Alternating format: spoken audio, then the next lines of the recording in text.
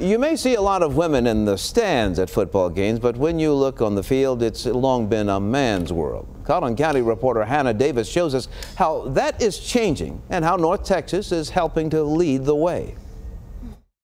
People just like you sitting in the chairs you've been in. Get a couple hundred Texas boys in one room, and it won't take long before they start talking football. They make a big play inside their territory. It's always been that way.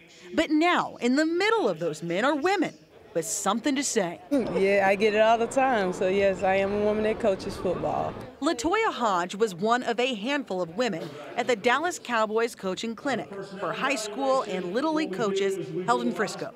She says eyebrows get raised when she takes the field, but like any good coach, she's got the perfect play to make the doubters go away. When they can see that I know what I'm doing and I'm capable of, and then get that respect. You know, I know in my life women have such a passion for the game, whether or not they're coaching or not. My wife, my mom, my sisters, you know, people that we're close to, they love football. And that love is taking women from the stands to the sidelines. A sight they say football better get used to. Yes. Yes. When you notice that? When we first got here and saw all these men, and then everybody's like, oh, "Good morning, guys," and they, hey, acknowledge the women. And all of the coaches say, as we see more women on this field, that means even more will be coming soon.